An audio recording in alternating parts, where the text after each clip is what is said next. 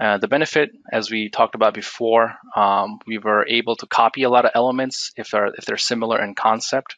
So I'm going to do just that for uh, for the caps itself. I'm going to make a copy of this girder, as the cap's to be fairly simple with the same stations uh, as the superstructure. So I'll make a copy of that, call it caps.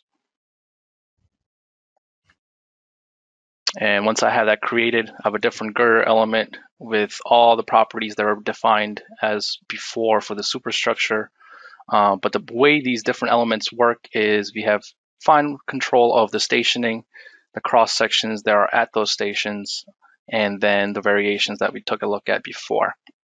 For our purpose, let's go ahead and make a change for the cap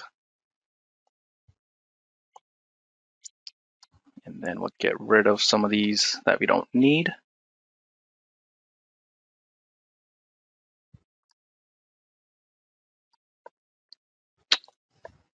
One of the cool aspects of this process is that when we're going through initially to model out a bridge like this, um, just for conceptual purposes, evaluating a couple of different alternatives. We don't have to think of every single thing that JobHash has been doing here in advance.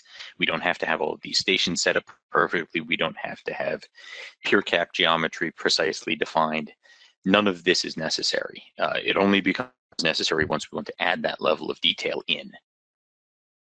And we can go back after the fact and kind of the same way you would in a CAD deliverable, we can systematically refine and add detail um, clean up geometry, make everything fit perfectly as we move through increasingly detailed phases of design.